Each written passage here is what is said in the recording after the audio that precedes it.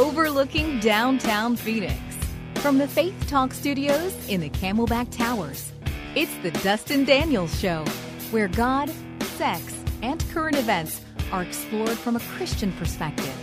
Here's your host, Dustin Daniels. 1 855 5 Dustin.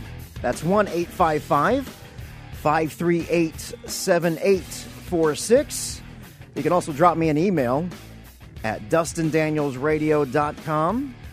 Follow me on Twitter at Purity Pastor. And if you're on the website, you can check out our new immersion dates for June, July, and August. Immersion is a two day men's workshop for those struggling with sexual purity, sexual integrity issues. And this two day event will literally immerse you in Scripture, in worship, and in community. And this could be a starting point to living a life of sexual integrity, living a life away from pornography. Can you imagine not being a slave to pornography, being free from that? This, this ultimately, you know, we talk about Romans 7 during the two day event, and why do I keep doing the things that I don't want to do? Why do I keep doing those things? And why those things over there, those things that I want to do, why am I not doing those things? The Apostle Paul wrote that. So we address that and we take you through a biblical process of what that looks like. June 17th and 18th, July 15th and 16th, and August 19th and 20th. To learn more information on the immersion workshop, you can go to dustindanielsradio.com. Well, today, on today's show, we are going to talk about the things in life that you're just not expecting. When the boss asks you to come into his office and he tells you that the company is downsizing and you're being laid off. Or when the doctor calls with test results and he asks that you come in as soon as possible. When your, your precious 14 year old daughter comes home and she tells you that she's pregnant. Or maybe when your wife finds pornography on your computer and she finds that you've been looking at this stuff for years and years and years and and whether these these things are self-inflicted or not life is all about the unexpected isn't it i mean it's it's how are we going to respond when not if, but when these things start happening in your life. Well, today, my guest is Jeff Kemp. And Jeff's story includes an amazing journey in the face of long odds during an 11 year career in the NFL.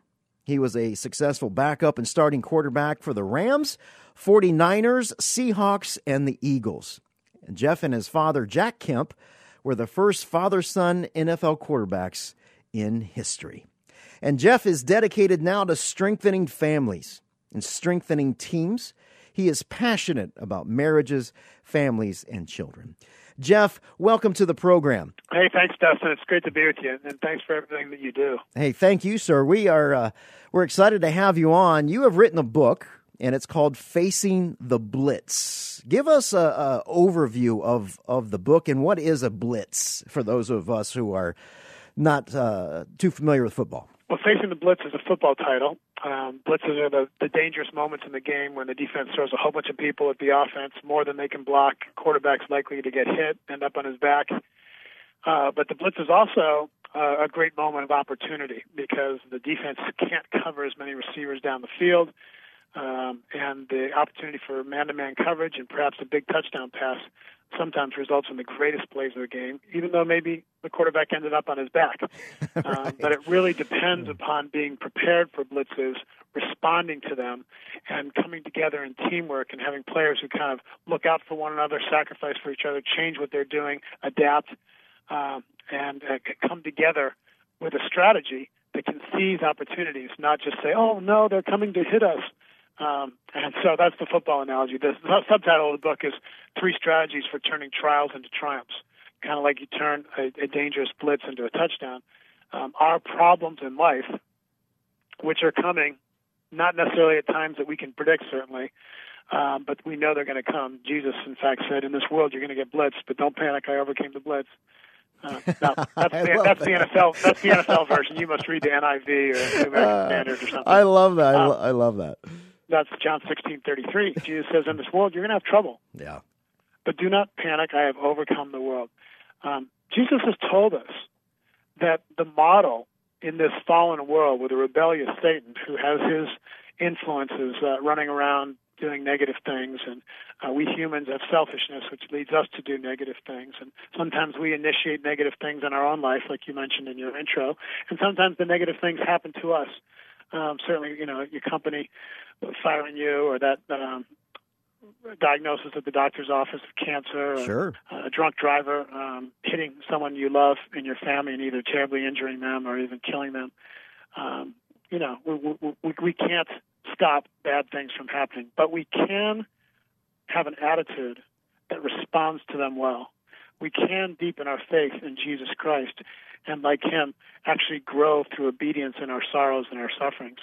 And we actually can have our tough things, our trials and our tribulations, our blitzes, we can have them turn into positives. Chuck Colson went to prison and it ended up leading him to Christ and he started prison ministry. Joni Eareckson Tada broke her neck as a teenager and was uh, mad at God for two years until she had a, a, a new view of life and was mentored and encouraged. And then she got a ministry to help people with disabilities, Joni and Friends. She became an artist. She became a speaker. She became a messenger of the gospel that nothing should hold us back from celebrating the biggest gift, which is salvation. And uh, so bad can turn to good. You know, a broken marriage can get you back on track with Jesus. Um, a rescued marriage that recovers from an affair can end up starting a ministry that helps other marriages because it takes so much help to heal from that affair. So that's the perspective of this book, Facing the Blitz, Three Strategies for Turning Trials into Triumphs. I, I love that, Jeff, and, and I, I couldn't agree more. I mean, my, my story is one of being an addict for 20 years of my life and, wow. and, and, and really wow. looking at, my gosh, without Jesus Christ, I ran my life into this ditch over and over and over again, and I kept running from everyone and everything. My life obviously changes drastically when you meet Jesus. He is the lover of our souls, and and just like you said, he takes all of this sin and rebellion, and he he he was actually teaching me what not to do when I now minister to people who are doing the very same thing that that I did. So it's amazing yeah. to me how God prepares us. Even He loves us so much that even when we rebel, He's going to turn that for good if we're humble, if we're repentant, if we're willing, if we have a, an unbelievable desire. You're you're absolutely right. I, I love your take on John sixteen thirty three. And as I was reading your book, Jeff, it was like, okay, facing the blitz is like facing reality yeah. And and Jesus Christ, yeah. he was blitzed, wasn't he? And w- well, if you, if you look at it, Dustin, all of history um, is a story of a brutal blitz where Satan rebelled out of pride, and in his rebellion, created the destruction of the perfect life that God intended for us because Adam and Eve followed that same pattern and listened to his deception. And then came the, the blitz upon humanity of the curse and the fall. And so now we have all this imperfect stuff, some of which, you know, I, I didn't cause some of this. The, the origin of this is Satan. Um, but then Jesus Christ came in God's rescue mission to turn the blitz from bad to good. And the, and the very strategy that God used for Jesus to reconcile the world to himself, to wipe out our sin, to give us that eternal perfect life with him again, the kingdom that starts now in our heart and someday will be perfected in a new recreated world. Um, the very strategy is Jesus underwent the ultimate blitz of all time. Mm. He comes expecting the people expecting a conquering hero, and he ends up washing feet and having meals with prostitutes and tax collectors and training 12 guys instead of being famous amongst the millions. And then he, he, he after washing his feet and going to the garden, uh, he says, Father, I'd rather not drink the cup of dying on the cross and bearing the sin of the world and being separated from you and having the wrath of all sin upon myself. But not my will, thy will be done. And then he goes ahead and allows himself to be falsely um, accused, falsely convicted, beaten, scourged, dragged through the streets, nailed to a cross, And while he's on the cross, bearing our sin, he's actually ministering to his mother and John, saying, You're mother and son to each other from now on, and to the, the, the, the criminal on his right, uh, who said, Truly, you must be the man of God. Could you remember me when you get to heaven? And he says, Yes, you'll be in paradise with me today. So Jesus on the cross showed us that blitzes turn for good. His death purchased our life. My guest today is Jeff Kemp, former NFL quarterback, and his book is called Facing the Blitz Three Strategies for Turning Trials into Triumph. You can learn more about Jeff and his book by visiting facingtheblitz.com. And when we return, we're going to talk how does the blitz relate to purity? What is this this idea? How can I relate this stuff to what I'm dealing with right now? Well, I tell you, Jeff has this amazing analogy. When we come back, we're going to talk about investor versus consumer relations. You're listening to the Dustin Daniels Show.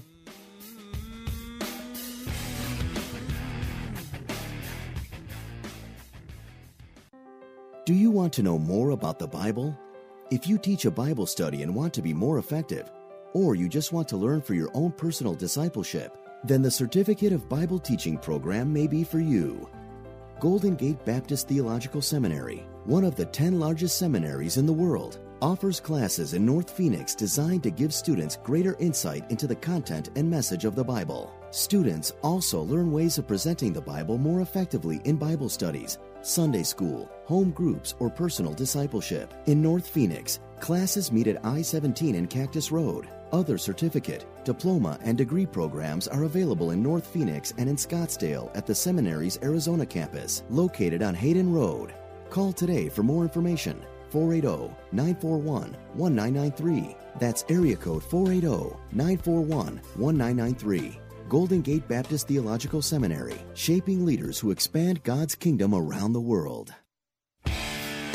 Hi, I'm John Eldredge, author of Wild at Heart.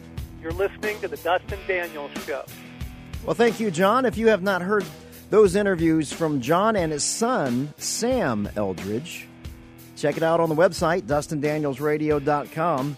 And by the way, this is a radio outreach ministry of seven places, and we are on the air because of your financial support. Thank you to all of our purity partners who donate $1 per day, $30 per month. And if you are interested in doing that, if this radio program has helped you, uh, we would ask that you please help us. You can visit dustindanielsradio.com, click on the donate button. You can also text seven places to 77977. Well, my guest today is Jeff Kemp. He's the former NFL quarterback, and he's written a book. It's called Facing the Blitz Three Strategies for Turning Trials into Triumph. And you can learn more about Jeff and his book at facingtheblitz.com. Jeff, before the break, we were talking about this idea of relationships and this idea of purity. And you, you mentioned in your book investor versus consumer relationships. And when you look at that through the lens of purity, can you give us some thoughts? Yeah, I can. Um, let me let me do a recap real quick of what facing the blitz strategies are all about. Um, there's three strategies for facing life's problems to turn them into positives. One is take a long-term view. Two is be willing to change and mature and be different. Let God conform you to the image of Christ. Get more humble, more other centered. Uh, learn to listen. Okay? Um, stop using something that's destroying you. Stop using people and loving money. Start loving people and using money. So be willing to change. And then number three is um, learn to bless other people. Don't focus on yourself. Focus on blessing other people. So that third strategy is is not easy to do unless you have a team approach to life and you're willing to be an investor, not a consumer. And that's what we're talking about here. Um, that relationships in America in this modern era of advertising and consumption have kind of fallen into the pattern of consumer because we're trained and told that we're consumers. Everything's about us. Everything should make us happy. Uh, we should trade in this car, get a new one, lease that one, buy buy an iPhone six, get a six plus, get a seven, get the next thing. Don't be satisfied with what you have. Um, and that creates a, a, a self-centered selfishness that drains the value from relationships and is always taking and not giving. Some people call them 50-50 relationships, where I'll put in 50, you put in 50. But we're all we are we're always a bad measure of distance when we're talking about meeting you halfway. Um, That's so true. So well, pretty soon the, the relationship is drained of the goodwill, the generosity, the kindness, the forgiveness, um, the humility, and the other centeredness, and that's what makes marriages break up. That's why dating relationships fall apart. That's why cohabiting relationships have a, a much less successful rate of success than married relationships. And that's also, though, why many marriages today have broken up and many struggle because we've let consumerism slip into relationships and marriage. And your your awareness and expertise with sexual addiction, sexual temptation, uh, pornographic counterfeits, etc. That's a, a perfect example, a tragic example of how we have consumerized sex, God's beautiful, intimate um, gift for human bonding and marriage, for expressing um, oneness, for giving pleasure rather than taking pleasure and having it come back to you as a byproduct, and finally for bearing children and, and being fruitful and multiplying. Uh, we've counterfeited that sex. So here's the analogy that helps us understand relationships and combat consumerism in marriage, combat consumerism with sex, combat consumerism in dating. Um, it's the it's the analogy between uh, being a consumer and an investor. And I'll explain it to this way. In pro football, they teach the quarterbacks that their job is to throw the football to a one foot diameter of accuracy right in front of the receiver, making it easy for the receiver to catch. Don't throw it high so his ribs get blown up or behind him so someone catches him and hits him make it perfect so he can succeed. The quarterbacks invest in the wide receiver to make him look good, make it easy. But the wide receivers are told wherever the ball is, if you can touch it, you must catch it. Jump up, catch it, get your hip ribs hit, miss six games, we'll put another player in for you. Make the quarterback look good, make the team succeed. You serve and invest in the quarterback who's investing in you. And the linemen are investing in everyone by sacrificing themselves and blocking that investor mentality leads to success. But if everyone acted like a consumer and receivers only wanted perfect passes, and receivers and quarterbacks wanted receivers to to catch anything they throw, all of a sudden no one would have high standards and they wouldn't treat each other well, and you'd have no teamwork, no catches, no first downs, no touchdowns, no success, no Super Bowl. Sure. Wow. So now think about your relationship. Are you looking to get from your spouse or to give to your spouse? Do you view sexuality as something that has you have a whole set of dreams and ideas and fantasies that you've collected over the years watching movie, TVs, and pornography, and you're trying to get someone to play that game and make you happy to fill your stimulated uh, uh, life? That's a consumer in sex. Or are you thinking, I want to demonstrate my lifelong loyalty, and I want to please this other person, and I want to find out what what really makes them happy? And if I'm married, then even in the sexual relationship, I want to be an investor in that other person, not a consumer from them. And most men need to wake up and realize that wives are dying for relational intimacy. They want to know that you choose them again and again after the wedding, not just on that one day or the honeymoon. They want to know that you put them first. They want to know that you're loyal. Uh, they, they want to know that you're interested in them, that you remember things about them. They don't expect you to be perfect, but they do expect you to apologize rather than defend yourself all those are investor characteristics to apologize first, to forgive first, to set a date and say, let's date, honey, to say, honey, let's go to a marriage conference and improve our marriage. Um, I'm setting aside some time. I'm going to click off ESPN and turn and talk to you. That's an investor husband, and that'll create a great marriage, and there'll be many more assets for years to come in that marriage than if we act like consumers. My friend has a, a sign on his mirror that says, Would I want to be married to me? And it reminds him every day to flip the switch from selfish little consumer to an unselfish Jesus like investor in his wife. Yeah, I don't want to be married to me. I don't even like me most of the time, Jeff. You know, it's it's one of those things. So you, you know, you've played for for several NFL teams, but you mentioned in your book that marriage is the ultimate team. Can you say more on that? Yeah, um, my son one time said, "Daddy, you guys are too different to be married." He was listening to my wife and I having a disagreement because mm. we have mm. outrageously different personalities. And I said, no, no, no, Keegan. I got down on my knees. He was five years old. I said, the reason mommy and daddy are married is because we are so different. Just mm-hmm. like linemen and receivers are very, or linemen and running backs are totally different, but they do roles that help each other. And quarterbacks are very different than receivers, but they do things that help each other. Mommy and daddy are different because God made men and women very different. And he even, even brings people with opposite personalities together so they can make a great team.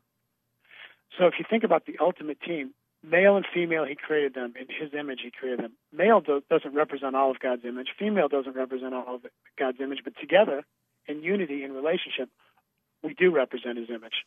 And in Ephesians 5:32, it says actually that marriage is an amazing metaphor, a picture. It's a it's a it's a mystery that reflects Christ's unconditional agape love for the church. And really, we ought to be practicing our marriage commitment in the same way that God has demonstrated His love by dying on the cross um, to give His life for us. And that's the loyalty. So the ultimate team on earth is marriage. The ultimate marriage eternally will be the marriage with God in heaven. And the Bible starts in Genesis with a with a with a marriage, and it, it ends in Revelation with a with a wedding banquet.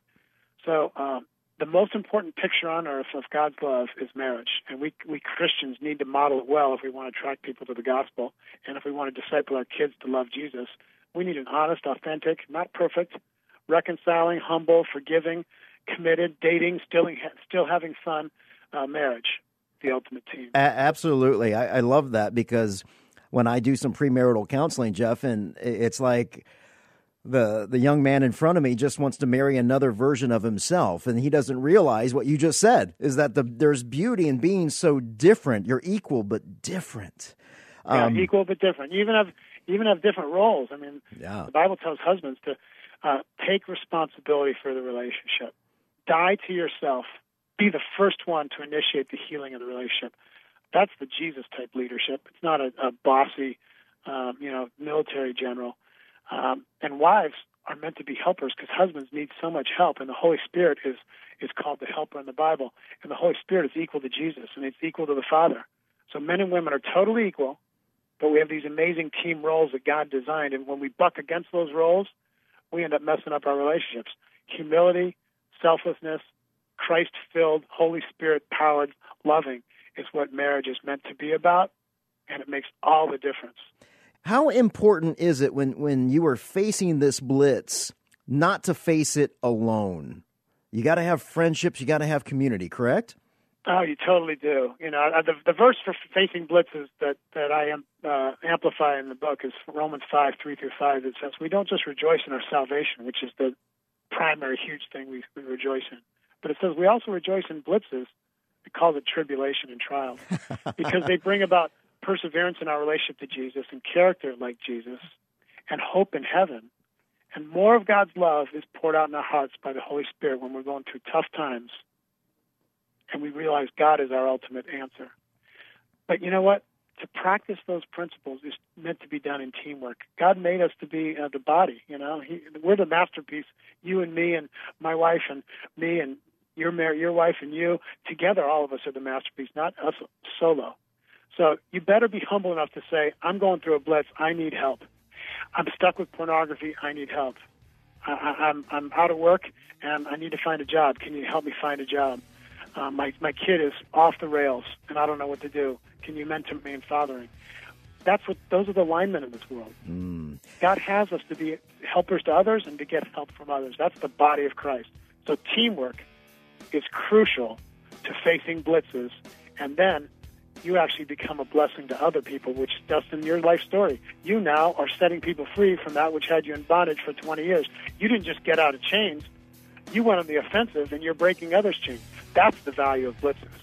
My guest today is Jeff Kemp, former NFL quarterback, and we're talking about his book, Facing the Blitz Three Strategies for Turning Trials into Triumph. Thank you, Jeff. You've been listening to The Dustin Daniels Show.